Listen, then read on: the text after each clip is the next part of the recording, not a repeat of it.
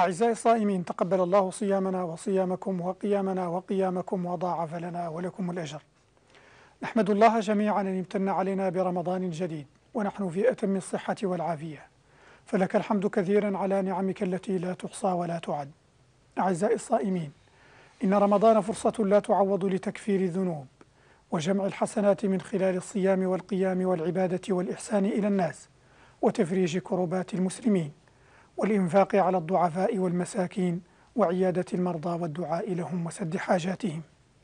ومن زرع حصد ولن يضيع الله جهود المحسنين من الرجال والنساء في هذا الشهر الكريم الذي نسأل الله بأسمائه الحسنى وصفاته العلى أن يعيننا وإياكم على صيامه وقيامه. أعزائي الصائمين كما عودناكم في بداية رمضان نبدأ بعون الله سبحانه وتعالى في عرض بعض الحالات الإنسانية التي تمكنا من الوصول إليها والتي يعاني أصحابها من المرض الشديد والفقر الشديد. إسهاما منا في إبراز معاناة هؤلاء للمجتمع المسلم ليتنبه لحال هؤلاء الذين ضاقت بهم الأرض بما رحبت وأصبحوا بحاجة إلى العون والمساعدة من إخوانهم. اليوم نبدأ بعرض الحالة الأولى والتي تتحدث عن سيدة تعيش وضعا صحيا مزريا بعد وصولها إلى العاصمة في رحلة علاج لم يخطر ببالها أنها ستطول. لكن الأطباء نصحوها بالبقاء فترة طويلة حتى يتم علاجها بالشكل المطلوب. ظروف السكن غير اللائقة تؤثر على صحتها ولم تجد من يقدم لها العون في مكان لا تعرف فيه أحدا فالزوج المرافق لها مكفوف البصر ولا يزاول أي عمل. والواقع أن حالها يختصر الكثير من المعاناة. لنتابع. بعد بحث طويل عن إحدى الحالات التي كنا نود الوصول إليها وفي هذا الحي الشعبي كان لنا ما أردنا وسط هذا المكان المتواضع وجدناها وحيدة مع زوجها المصاب بالعمى وسط ظروف قاسية يصعب الحديث عنها.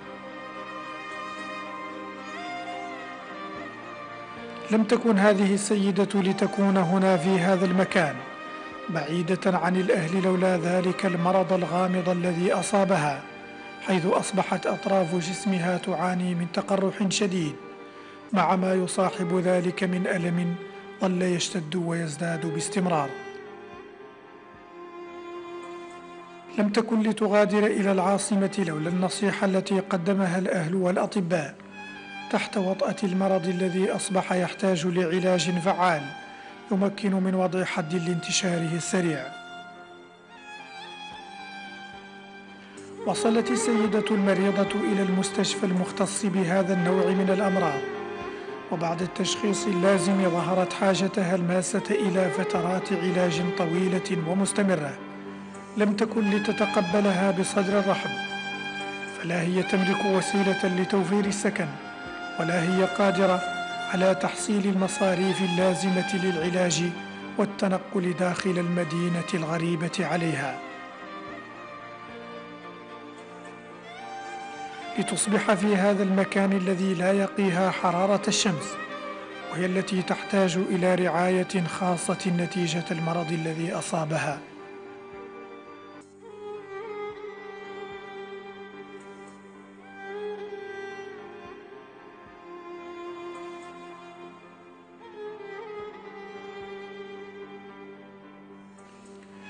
حدثتنا بمرارة عن حالها وكيف أصبحت تحن إلى رؤية ابنها الذي تركته في البادية لتنهار دموعها حسرة على فراق لم يرحمها وهي تكابد المرض والأوضاع المادية المزرية.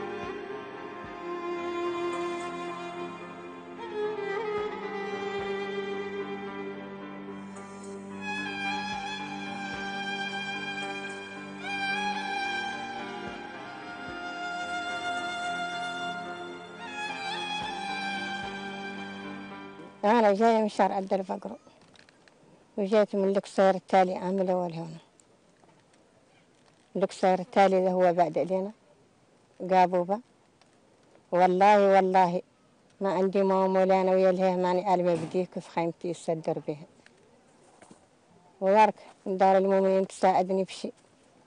وهذا الراجل والله ما يشوفش والله اللي كنا ندور السوق برقة ما ريناها والله يلي قدامه عندنا والله يلقش الليلة ماني عالمة به. هذا مولانا بعد حاضر قبيل وحاضر ذاك والله والله يلهي شر الخيمة ماني عالمة بشي.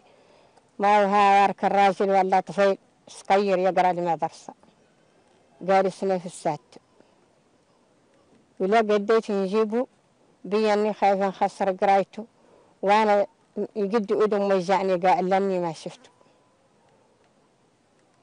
لي آه وشهرين ولا آم وهلت شهر عنه تنقلات شرطة ما عندي لهم شي ما عندي باسهم ولا عندي لهم شي. طالبة من المؤمنين والمسلمين إنكم تساعدوني.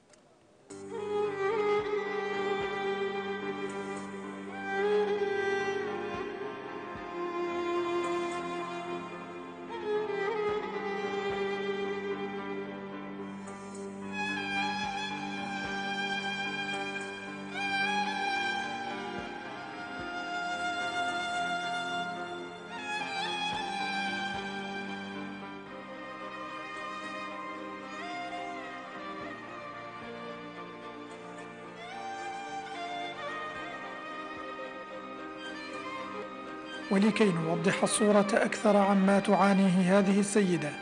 كان لنا هذا اللقاء مع أحد الأطباء المشرفين على علاجها.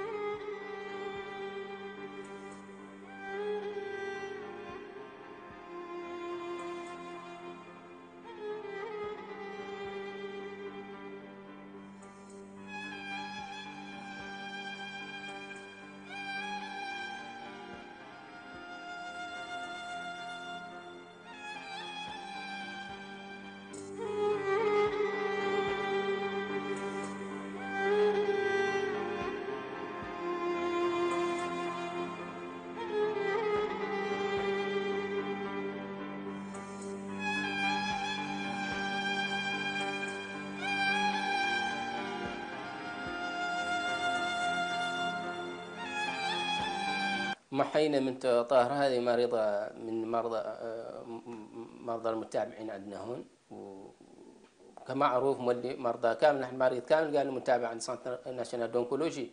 معناه المتابع لمرض مزمن.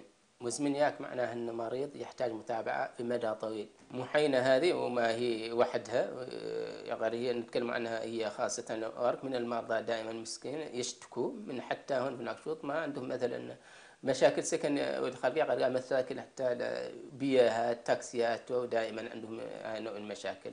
وقطعا حد استطاع أن يساعدهم. نحن كأطباء آه، نتحاكم معهم يوميا وخاي معنا خاصة. نعرف أنها تحتاج حد قد سامع كامل يساعده. جزاه الله خيرا. ونحن كأطباء نشهد أنها تحتاج.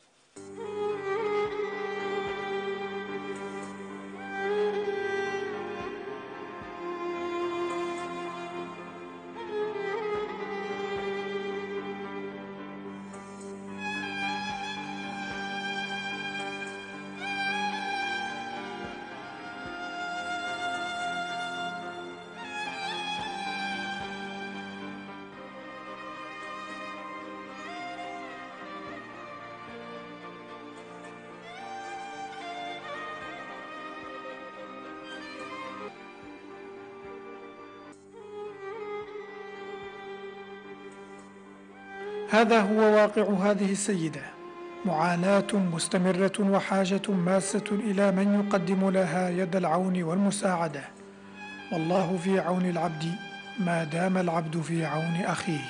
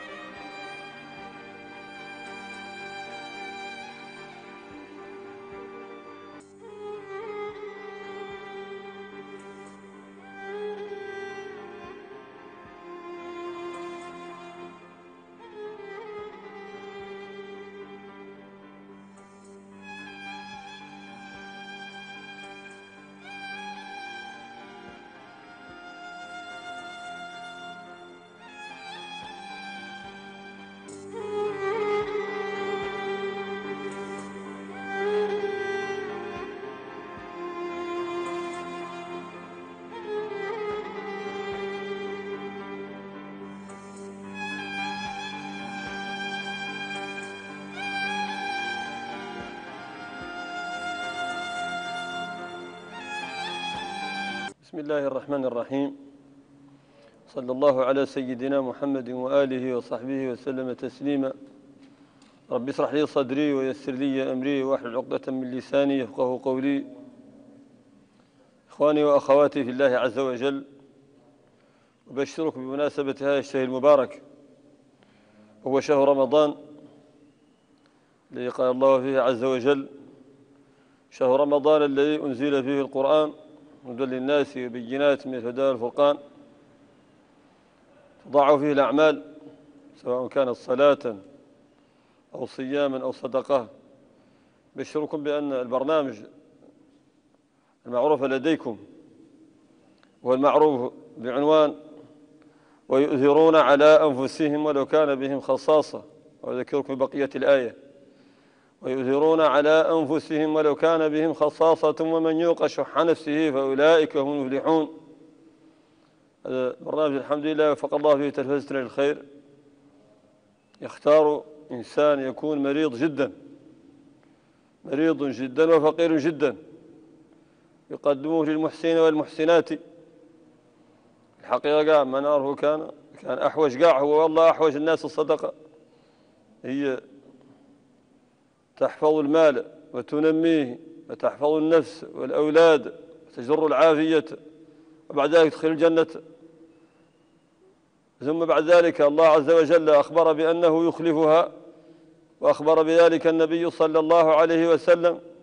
قال الله تعالى وما أنفقتم من شيء فهو يخلفه وهو خير الرازقين ويقول النبي صلى الله عليه وسلم اللهم أعط منفقا خلفا نسأل الله أن يتقبل صيامنا وصيامكم وقيامنا وقيامكم وصدقتنا وصدقاتكم وأن يجعل خير بأيدينا وأيديكم إلى يوم الدين وأنا إن شاء الله تعالى كما قلت لكم سابقا في في رمضان قبل ذلك ورمضان قبل ذلك أي شيء وصلني سأوصله بيدي إن شاء الله تعالى لذلك المريض الله على ما نقول وكيل الله أسأل أن يوفقني وإياكم لكل خير إنه سميع الدعاء Bye.